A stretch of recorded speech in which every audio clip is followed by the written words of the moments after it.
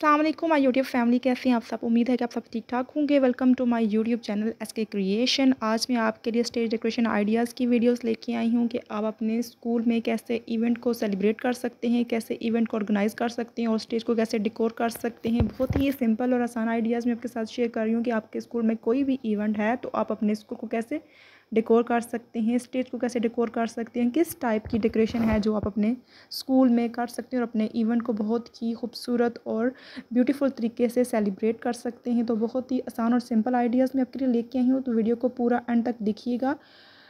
इसमें आप इस तरह से स्टेज को डेकोर कर सकते हैं, इसमें आप क्लॉथ का इस्तेमाल कर सकते हैं सिंपली स्टार का बहुत ज़्यादा ट्रेंड चल रहा है, बहुत ज़्यादा कॉमन है। आप इसकी डेकोरेशन कर सकते हैं बालून्स की डेकोरेशन आप कर सकते हैं। Plus according to your theme आप डिफरेंट कलर्स चूज़ कर सकते हैं। इसके अलावा आप वेलकम बोर्ड भी बहुत ही खूबसूरत तरीके से तैयार कर सकते हैं। और साथ ही साथ आप एक फ़ोटो फ्रेम भी बनवा सकते हैं, जहाँ पे आपके सारे जो लोग होंगे, वहाँ पे आके पिक्चर्स भी ले सकते हैं। इससे बहुत ही खूबसूरत और अमेजिंग लुक आती है। आप एंट्रेंस पे डेकोर कर सकते हैं, एक बालून की प्रॉपर आर्क बना सकते हैं, साथ वेलकम बोर्ड आप वहाँ पे बना सकते हैं और चार्ट पेपर की मदद से या कलर पेपर की मदद से डिफरेंट फ्लावर्स से बहुत ही खूबसूरत और अमेजिंग तरीके से वेलकम बोर्ड तैयार कर सकते हैं और साथ साथ बहुत ही खूबसूरत तरीके से फ़ोटो फ्रेम बना सकते हैं।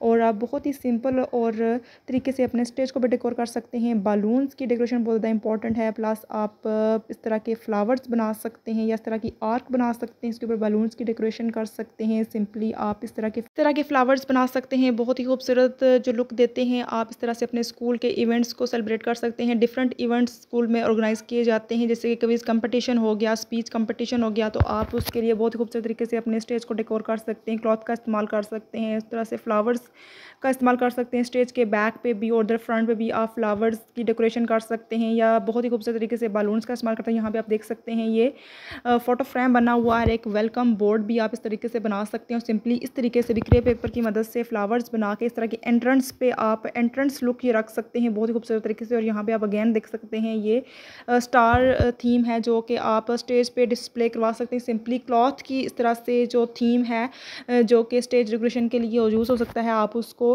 डिस्प्ले करवा सकते हैं और वेलकम बोर्ड भी बहुत ही खूबसूरत तरीके से तैयार कर सकते हैं और डिफरेंट तरीके से फ्लावर्स को आप एंट्रेंस पे लगा सकते हैं। बहुत ही आसान और सिंपल आइडियाज़ हैं जो मैं आपके लिए लेके आई हूँ, आपके साथ शेयर कर रही हूँ।